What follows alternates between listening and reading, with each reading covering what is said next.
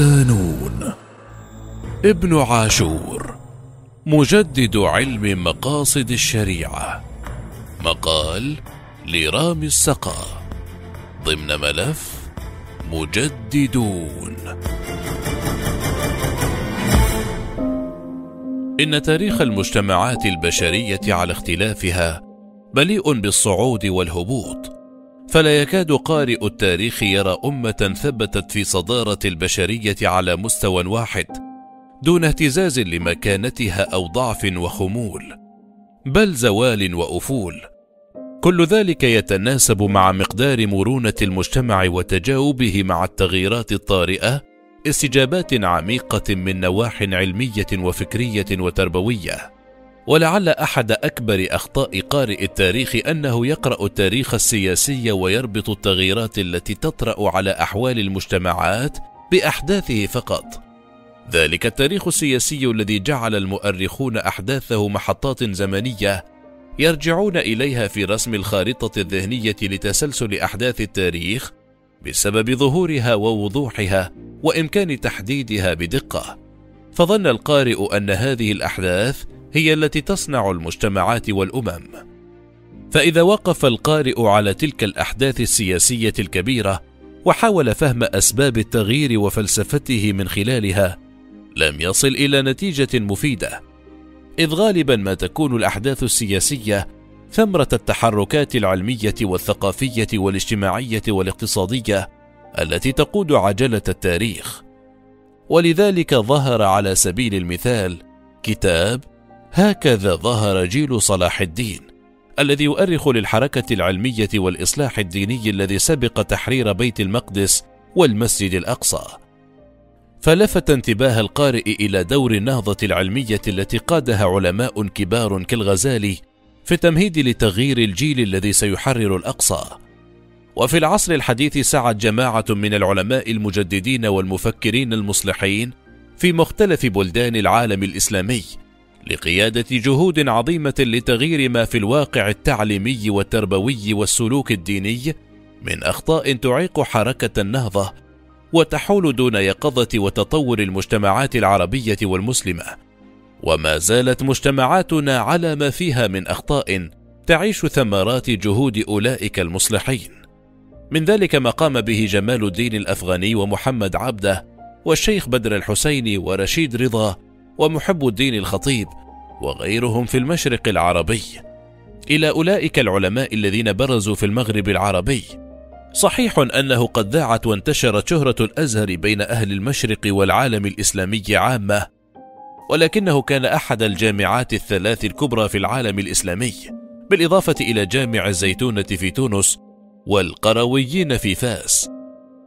وإذا كانت حركة التبادل الثقافي والحضاري بين مشرق البلاد الإسلامية ومغربها المتمثلة في رحلة العلماء والكتاب أصبحت شبه معدومة كما يقول إياد الطباع في كتابه محمد الطاهر ابن عاشور. فلا بد بعد الحديث عن بعض أعلام التجديد في المشرق العربي في العصر الحديث من الإشارة إلى أحد أبرز أعلامه في المغرب العربي هؤلاء الرجال لم يكونوا قادة سياسيين ولا عسكريين بارزين لكنهم وضعوا بذور النهضة العلمية والفكرية والاجتماعية التي تؤهل المجتمعات المسلمة لدخول العالم المعاصر. أليس الصبح بقريب؟ لعل هذا العنوان لأحد أهم كتب العلامة محمد الطاهر ابن عاشور المغربي التونسي يوضح شيئا من مذهبه الإصلاحي حيث كان عصره كما يقول إياد الطباع في كتابه المذكور عصر اضطرابات وفتن إذ كانت البلاد التونسية ترزح تحت وطأة الديون الخارجية وعم الاضطراب الاجتماعي واختل الأمن وتنازع الأمراء على السلطة. وكأي عالم مهتم بشؤون مجتمعه وإصلاحها كان ابن عاشور يفكر في أفضل طريقة لتغيير هذه الأوضاع. فوجد أن التجديد الديني أقصر طريق إلى إشراق الصبح على المجتمع التونسي والمجتمعات العربية والإسلامية. والإصلاح الفكري أقصر طريق لرقيها وتغيير أوضاعها السياسية والاقتصادية والحضارية. كانت مجلة العروة الوثقى ومجلة المنار تصلان إلى تونس وتأثر بها عدد كبير من علماء الزيتونة ومثقفيها. وأسسوا جمعية العروة الوثقى وكان ابن عاشور ممن تأثر بهذه الحركة الإصلاحية واصطدمت حركة التغيير هذه كما هي العادة بالمراحل المفصلية في حياة المجتمعات بمقاومة المحافظين من علماء الزيتونة. إضافات جديدة عند الحديث عن الشيخ ابن عاشور كأحد المجددين، لابد من وجود إضافات علمية أو رؤية إصلاحية بارزة تستحق التقدير، تجعل الشيخ في زمرة المجددين في عصره وقد برزت جهوده العلمية في جوانب مختلفة نجملها في أربعة محاور رأى أن واقعها يحتاج لإصلاح. الإصلاح التعليمي. رأى أن إصلاح الأمة يبدأ من إصلاح التعليم. فالتعليم هو الذي يؤهل أجيال المجتمع للتجاوب مع متطلبات عصرهم وحاجاتها فإذا قصر التعليم عن إنشاء تلك الأجيال فلا يرتجى تغيير ولا تطوير شملت جهوده في إصلاح التعليم المجال النظري والعملي. في المجال العملي تولى مشيخة جامع الزيتونة وأدخل إليه الكثير من الإصلاحات التي جعلت فريقا من علماء الزيتونة يخالفونه ويحاربونه. كانت رسالته أن ينتقل بالتدريس في الزيتونة من طريقة المشايخ التقليدية التي يكون فيها الشيخ هو محور العملية التعليمية والتي كانت نافعة في مراحل زمنية معينة. وما زالت لها أهميتها في بعض المجالات إلى طريقة الجامعات الحديثة التي يكون التنظيم والإدارة والمنهجية في اختيار المواد والمقررات هي محور العملية التعليمية فلا ترتبط بالشيخ وحده بل هي مؤسسة قائمة بمناهجها وترتيباتها الإدارية. ولذلك قام بتحديد المواد المقررة والمناهج بعد أن كان اختيارها مفتوحا للمعلم وجعل حصة الدرس لا تتجاوز ساعة بعد أن كان الوقت مفتوحا للشيخ، بل عين قيما ينبه المدرسين لإنهاء الدرس، وكان هو أول الملتزمين بمناهج التعليم ومواعيده، فإذا نبه القيم لانتهاء الوقت أنهى درسه مباشرة.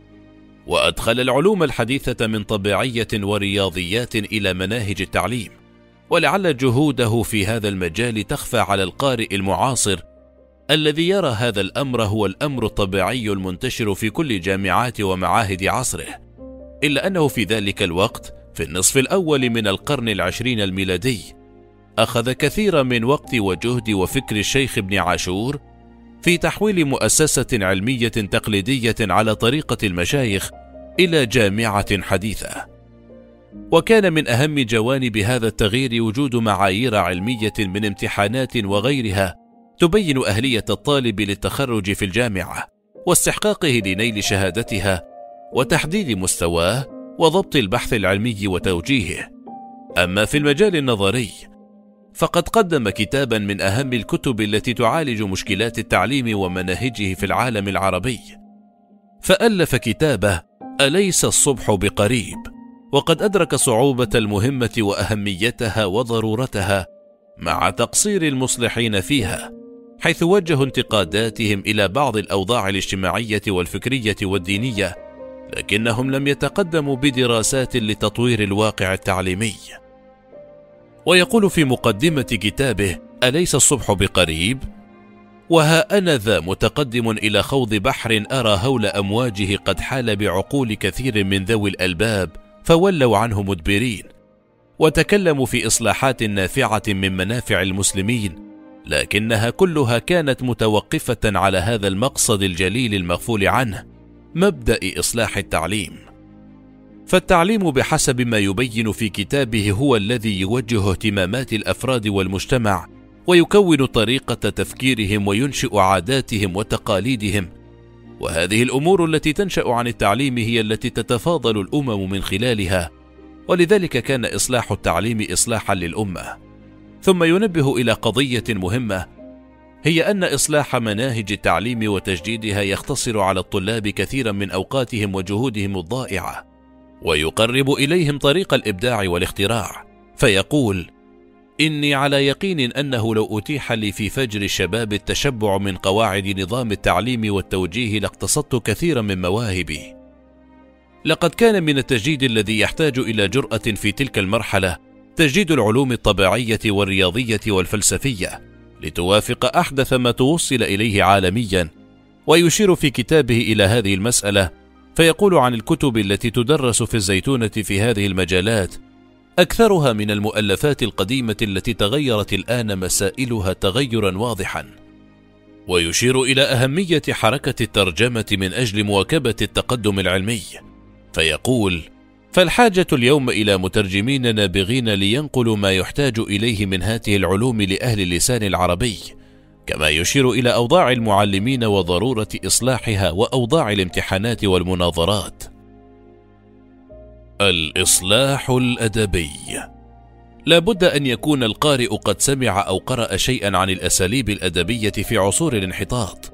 الأساليب المليئة بالسجع والمحسنات البداعيه المتكلفة التي قد تفسد المعنى فأصبحت اللغة مباراة ومباهاة بالأساليب اللفظية الفارغة من أي معنى. ولأن الأدب لسان ثقافة الأمة وعلومها كان الفساد الأدبي سببا من أسباب الفساد الثقافي. وكان التجديد في اللغة والأدب أحد وجوه التجديد المهمة لتغيير الأوضاع الثقافية.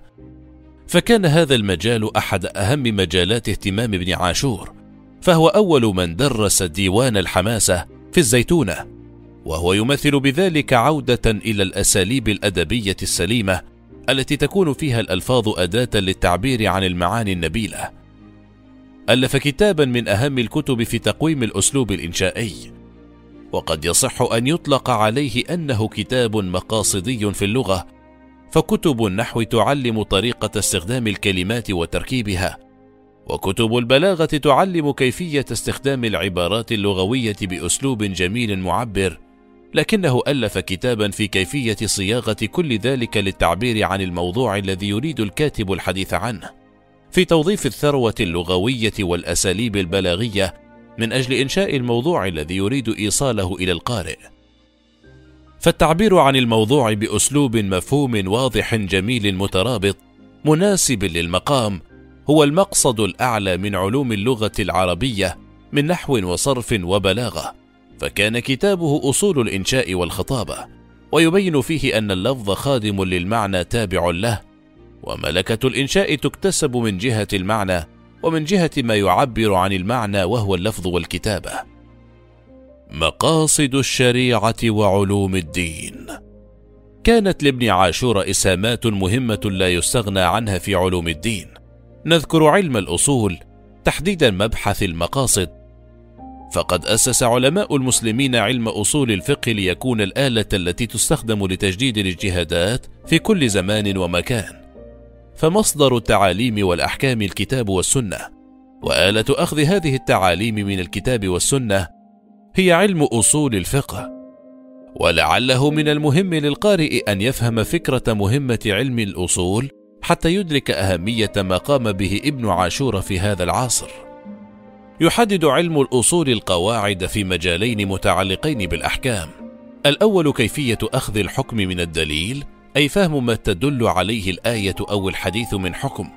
والثاني فهم علل تلك الأحكام ومقاصدها وغاياتها لصياغة النظريات الفقهية التي تجمع شتات الأحكام المتفرقة. ومن المجال الثاني علم مقاصد الشريعة. عندما تكون البيئة التي نريد إسقاط الأحكام الشرعية عليها متشابهة مع البيئة التي جاء فيها النص من حيث ظروف الحياة ومجالات النشاط البشري. قد لا يحتاج الفقيه إلا إلى فهم الأحكام التي تدل عليها الآية أو الحديث. ولكن عندما تدخل الأمة عصرا جديدا كانت غائبة عنه بعلومه ومعارفه وفلسفاته وتقنياته الجديدة وتريد أن تستفيد مما وصلت إليه البشرية من علوم ومعارف وتريد أن تحدث تنظيم دولها ومجتمعاتها. تكون بأمس الحاجة إلى علم مقاصد الشريعة لتصل من خلاله إلى فهم روح الشريعة الإسلامية وأحكامها وعللها وغاياتها وتكوين نظريات تستطيع من خلالها التعامل مع مجالات النشاط البشري الجديدة. التي لم تتحدث عنها الأدلة الشرعية بتفصيل. فكلما تغيرت ظروف الحياة وابتعدت عما كانت عليه في الوقت الذي نزلت فيه نصوص الوحي كان الاحتياج إلى النظرة المقاصدية أكبر. وحتى يدرك القارئ أهمية إسهام ابن عاشور يكفي أن يعرف أنه قد أفرد علم المقاصد بالتأليف العز بن عبد السلام ثم الشاطبي ثم لم يؤلف في المقاصد إلى أن قام ابن عاشور في العصر الحديث بتأليف كتابه مقاصد الشريعة الإسلامية. فتحدث فيه عن أهمية علم المقاصد للفقيه وطرائق معرفة مقاصد الشريعة ثم بين مقاصد الشريعة العامة والمقاصد الخاصة بباب من أبواب الفقه. ومن بديع ما ورد في كتابه عن فوائد علم المقاصد أن دلالات الألفاظ تكون أوضح ما تكون عند المشافهة ورؤية الحالة والظرف والسياق الذي ظهر فيه الكلام فالصحابة أقدر الناس على فهم خطاب الشريعة لأنهم عايشوا الواقعة والظروف وفهموا مراد الشارع. فإذا بلغ الكلام مبلغ تطرق إليه الخطأ لعدم رؤية الواقعة أو الحال والسياق. فإذا وصل الكلام كتابة كان احتمال الخطأ أكبر لأنه لا تظهر فيه ملامح المتكلم التي قد تكون عونا للألفاظ للتعبير عن المعنى. فهنا يزداد الاحتياج إلى فهم المقاصد الشرعية حتى يحسن الفقيه فهم النصوص الجزئية في ضوئها إذ يقول ولذلك تجد الكلام الذي شافه به المتكلم سامعيه أوضح دلالة على مراده من الكلام الذي بلغ عنه مبلغ. وتجد الكلام المكتوب أكثر احتمالات من الكلام المبلغ بلفظه بل له بالمشافهة به. من أجل فقده دلالة السياق وملامح المتكلم والمبلغ وفي هذا العمل تتفاوت مراتب الفقهاء. وترى جميعهم لم يستغنوا عن استقصاء تصرفات الرسول صلى الله عليه وسلم ولا على استنباط العلل. بالإضافة لعلم مقاصد الشريعة فقد اعتنى ابن عاشور بعلوم الدين. وهو المجال الرابع من نظراته التجديدية ولعل كتابه الأكثر شهرة تحرير المعنى السديد وتنوير العقل الجديد من تفسير الكتاب المجيد المعروف بالتحرير والتنوير هو من أعظم إرثه ومن أهم كتب التفسير التي يتجلى فيها إبداع المفسر المنضبط بالأصول العلمية ويعد التطبيق العملي لرؤيته التجديدية في الجوانب الثلاثة التي سبقت. فكتب تفسير القرآن بأسلوب جديد مع اهتمام بالجانب الأدبي والمقاصدي حيث يحاول استيعاب ما قيل في تفسير الآيات والسور مع رؤيته التحليلية النقدية ثم يبين المقاصد العامة للسورة التي تجمعها في رؤية موضوعية متكاملة ليشرع في تفسير آياتها مع التحليل اللغوي والبياني الماتع. فعندما يفسر سورة الإخلاص يبدأ بالمقاصد العامة للسورة من توحيد وتقديس. وهذا توجيه للفهم الكلي المقاصدي لسور القرآن الكريم ثم يبدأ بتفسير آياتها وكلماتها فيبين بتحليل مفصل الفرق بين واحد وأحد. صحيح أنه قد وجهت إليه بعض الانتقادات لكنها لا تحط من شأن صنيعه بل هذا شأن كل طرح جديد لا يخلو من خطأ أو انتقاد. نشاط واسع. إن أولئك الكبار من المجددين والمصلحين. لا تضيق حياتهم وتنحصر في أنفسهم أو أسرتهم أو بلدهم بل تتسع باتساع آفاقهم الفكرية ومداركهم العلمية. وكأن الحرية العلمية تخرجهم من أسر وضيق مكان محدد إلى عالم واسع.